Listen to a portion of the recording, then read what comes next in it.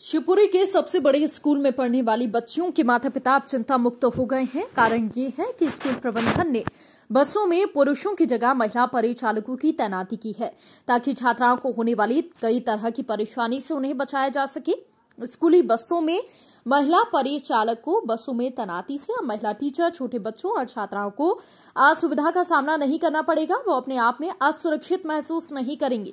स्कूली बसों में पुरुष परिचालकों की वजह से हाल ही में हुई कुछ अप्रिय घटनाओं को देखते हुए शिवपुरी के हैप्पी डेज़ स्कूल प्रबंधन ने बसों में महिला परिचालकों की तैनाती का फैसला किया है। शिवपुरी का ये इकलौता स्कूल है जिसने ये व्यवस्था शुरू की है।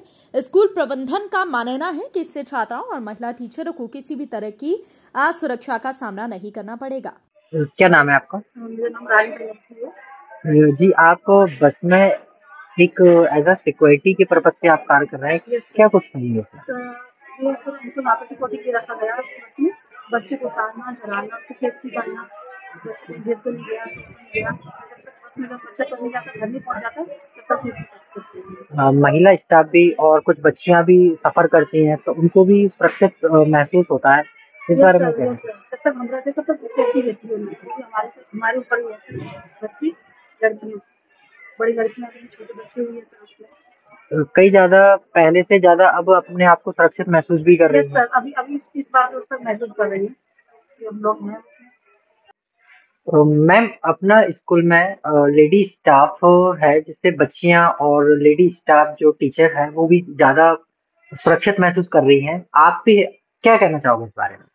एक्चुअली कुछ साल पहले कोरोना से पहले ही ये सर्कुलर आ चुके हैं सीबीएसई से और उसमें ये लिखा गया था कि जिस, जिन बसों में बच्चियाँ जाती हैं तो बच्चियों को की सुरक्षा के लिए लेडी टीचर्स भी रहनी चाहिए और जो कंडक्टर है वो एक्चुअली एक लेडी कंडक्टर रहनी चाहिए। तो हम लोग फिर केवल सीबीएसई का पालन कर रहे हैं और तब से हम लोगों ने कोशिश की और कर ही रहे हैं कि बच्चियों के सुरक्षा के लिए हमारे बसों में लेडीज़ प्रेजेंट रहें ताकि कोई प्रॉब्लम ना आए कोई लड़की को किसी तरीके से कोई भी इशू ना हो मैम ऐसे कितने अपने लेडी स्टाफ है जो बस में अवेलेबल है?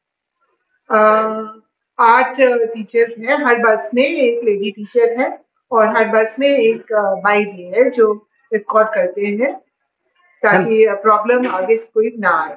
पहले से ज़्यादा अब बच्चियाँ और लेडी स्टाफ भी कई ज़्यादा सुरक्षित महसूस कर रही हैं। डेफिनेटली और पॉजिटिव रिस्पांस भी आया है और पेरेंट्स से तो बहुत ही पॉजिटिव रिस्पांस है। एक अपना एक ही ऐसा शहर का ऐसा स्कूल है जिसमें ये सारी फैसिलिटीज़ अवेलेबल हैं। मुझे और स्कूलों के बारे में तो पता नहीं है पर अपना जो है ये हमारा तो ये रिस्पॉन्सिबिलिटी रहती है कि हमारी लड़कियाँ हमारी बच्चियाँ सेफली घर पहुँचे।